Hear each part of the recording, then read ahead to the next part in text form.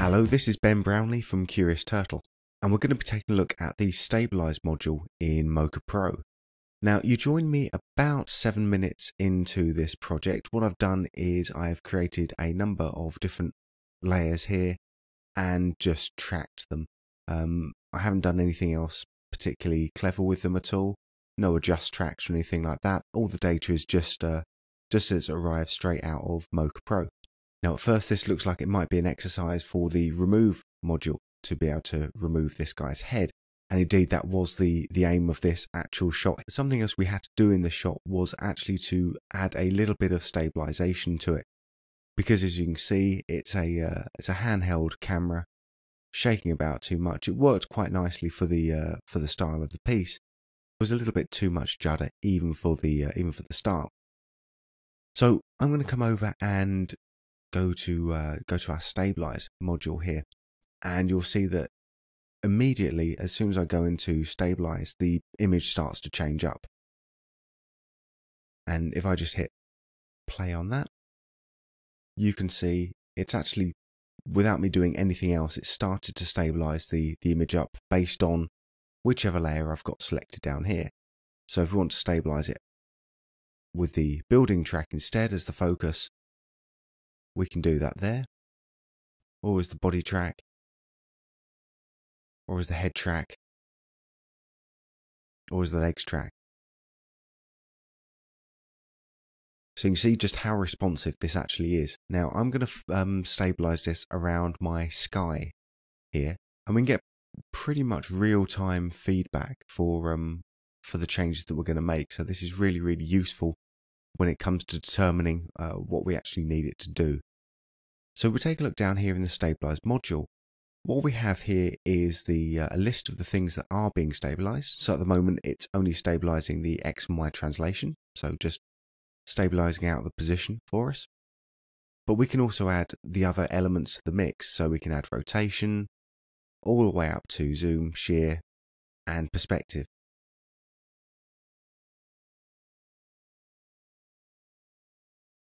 And if we take a look at, I just pause it around about here, you can really start to see what um what shear and perspective are actually doing. And that gives a good result, but um, for the sake of this shot, I'm just going to turn off everything apart from the translation and the rotation there. Now, the amount of smoothing we've got going on, you'll notice that this isn't a um, completely steady shot, as if it was uh, completely, completely stabilized. Well, if we want that, if we want that sort of locked off sort of style, we can turn on maximum smoothing down here. And this will try and lock us back as far as possible into uh, into a completely steady shot. Now you might start to see some some sort of artifacting going on, and that's actually perfectly natural um, because remember we're stabilizing up what was a uh, a moving camera so those those small changes, especially with a wide angle lens, creates different sorts of parallax and different sorts of uh, distortion going on here. So stabilizing that up too much can give some weird sort of uh, uh, fairly unnatural looking results here. So if we take a look at the car here, actually it's not too bad at all, but you, it is noticeable. So instead of stabilizing this shot completely, what I want to do is I want to keep the um, the natural motion of the camera. I just want to make it a bit smoother. So let's come back, set our maximum smoothing back off. I'm going to turn my Uber key back on here. Now what the Uber key does is it makes sure that any changes that we make onto any of the uh, any of the parameters affect all of the keyframes in this range equally. So the basic upshot of this is is that I'm not going to be laying down some new keyframes every time I make a, a little change down here. And in this situation, that's, that's really, really useful. So instead of having the maximum smoothing turned on, I can actually define how many um, frames are going to be smoothed. So at the moment, our frames, a number of frames is down to 10. But if I turn this down all the way down, maybe just to one, this is going to give me really no smoothing whatsoever. If I turn this up just a little bit, this will only start to smooth out the largest of the movements. So this is actually really useful when we have just a, a slight pop or a slight hop in the image that we can just uh, we can just get rid of it by taking that number of keyframes down or number of frames down quite low. And in the opposite way, we can turn the number of frames up insanely high, and this will just completely smooth out the motion across the entire range of the clip here. So even though we've got a actually quite a large camera move that happens by turning the number of frames up quite a lot, it does smooth out a lot of that uh, a lot of that movement there. Now, of course, that comes at the expense of, of taking away some of the um, of some of that steadiness. But that's the uh, that's the balance you have to strike with your particular your particular shot. Now, I'm going to take this down fairly low just to give us quite a lot of work. Maybe not that low. So I'll take us down to about 14 there. Let's see how we go. Now, a great thing about this is that, you know, where we do have a significant camera move, which we do have here, we get quite a lot of black borders around the edge. You know, that's that's actually unavoidable as part of the stabilizing. What you're doing is repositioning, you know, adjusting the rotation. So you will get black borders around the edge here. Now, if you want to avoid that and still keep the um, the smoothing going on, we can use this frame list here to actually set. I'm going to just add one here. So we can use the frame list here to set where we want to have the original camera position come back in.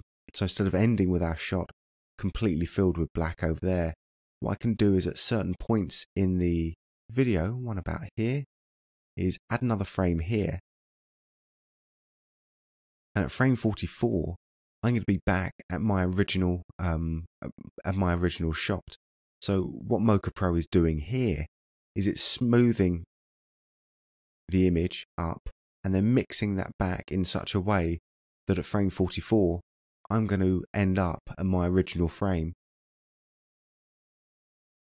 There we go. In quite a smooth and natural way.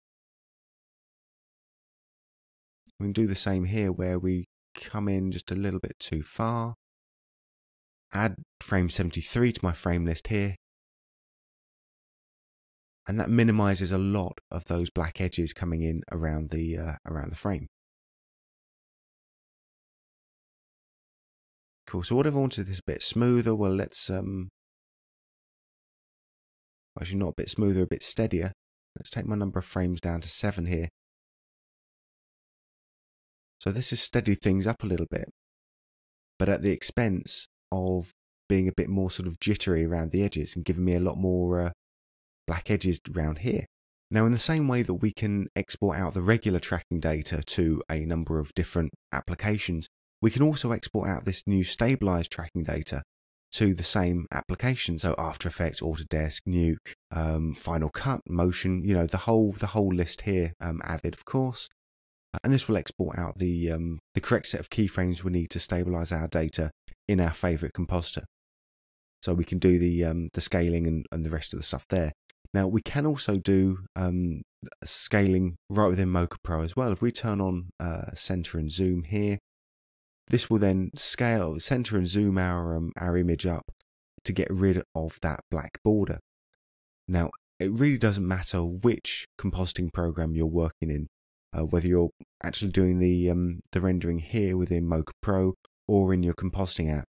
If you do any sort of uh, of scaling up here to get rid of the black borders, you are going to be compromising the quality of the image. The upshot is you're probably going to end up with a softer image than you started with. So this is why let's turn center and zoom off here. So Mocha Pro as artists, we now have another option available to us, and that's the autofill here. So if I come to autofill, and turn this on, what autofill is going to do is it's going to build up the image from other frames. And let's just come over here to my little black border here. And by building up the image in that way, we don't have that same um, need to do any upscaling because what we're going to be doing is taking pixels from a different point of time where the scale is still 100%. So we're actually filling in this data with pixels at 100% rather than having to scale things up. Cool. Well, let's just see how that's going to work. Well, I'm going to just, without doing any other um, changes, I'm just going to hit my render button over here. And once that's rendered, let's take a little look at that. That's now rendered up. That's now filled in that pixel. That's now filled in that area. let's take a look at the original, That's now filled in that area with fresh pixels here. And that's done that across the range where I've got my um, my shape data. So down here where we don't have any shapes or any planes defined, then we've still got the um, the black area here. So what I'm going to do is I'm just going to clear the frame list of one here so we can get a slightly more visible result. Um, so I'm going to do the, exactly the same thing with this here. So sometimes what will happen is that you won't have any data going within that particular search range. So we can crank the search range up um, to, let's crank that up to all the way to, up to 40. And what this will do then is it will search, instead of just searching 10 frames back and forth for the missing data, it will then search the extra frames going, going back and forth for you, just to see whether it can fill in from that data. And in this case, it's been able to find it when it's searching a higher number of frames. Now, what you'll also notice is if I turn off my overlays here, is that it is only going up to the distance of our shape. So we do need to have stuff tracked in there. But the great thing is we can track in multiple objects. Let's turn my ground plane on here as well. So let's come into my ground plane here and just extend that out a little bit. Make sure I've just got the render cog turned on to the ground track as well as the sky track and let's just re-render that. So now if we have a look down here, that will then pull in the rest of that data for us as well there. So we can build up multiple planes in a uh, an image here if we need to. Cool, and sometimes we'll ju we just won't have that data. So what we can do there is we can just fill from background, hit render out again, and where it can't find the um, the regular data for it uh, in a in a particular plane here, what it's going to do is it's going to fill in those extra gaps just with some of the previous frames. So in this case, if the camera because the camera has moved a bit here, this isn't um, this isn't matching up absolutely perfectly as it is doing where we've got the uh, where we've got the sky coming in there and the uh, the ground down here. But a lot of cases where there's not a lot of camera movement, just having something of a uh, of a similar value here is enough not to draw the eye to a uh, to the black mark there. Because of course, if you're doing your job right, the main focus of the action isn't going to be on these small little uh, details over here. It's going to be on the main action going on within this part of the frame here. So a lot of a lot of the time, actually, it's enough to have something filling in the gap here which, while not 100% perfect, is enough not to draw the eye away from the main action.